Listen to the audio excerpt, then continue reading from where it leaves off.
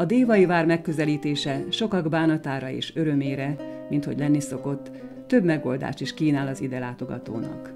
2003-ban kezdődtek el a munkálatok egy telekabin megépítésével, amely 2005-ben fejeződött be. A telekabin 180 méter magas szintkülönbségről indul, és 343 méter magasba vontat kabinonként 16 főt.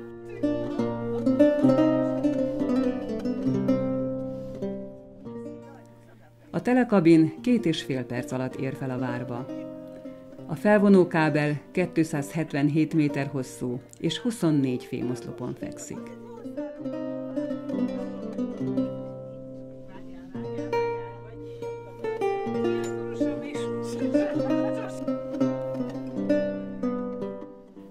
A ma természetvédelmi területen csodás panorámát nyújtó hegyormon drámai módon uralja a vidéket Dévavára.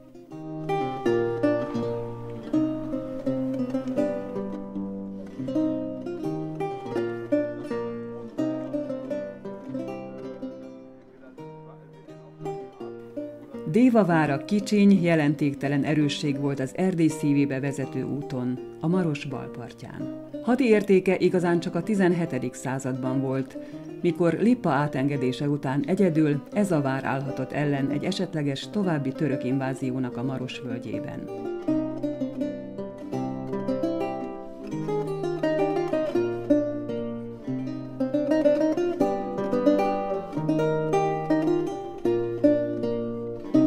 Helyzet azonban gyorsan változott, és szerepe egyre csökkent, bár teljesen csak a 18-19. század fordulóján veszítette el jelentőségét.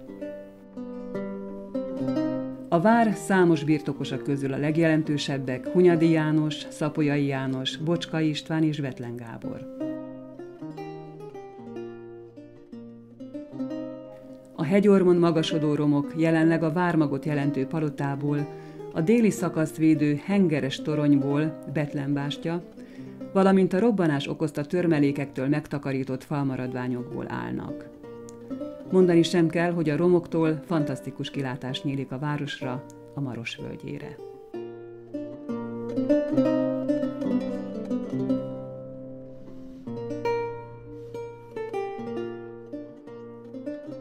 A városi hatóságok két évtizedente, imit amott némely falmaradványt megmegerősítettek helyjel közzel a helybeli kőművesek odaadó hozzájárulásával.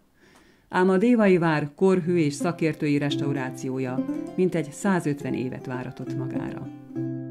2008-ban a Hunyad megyei tanács finanszírozásával nagyszabású helyreállítási munkálatok kezdődtek. A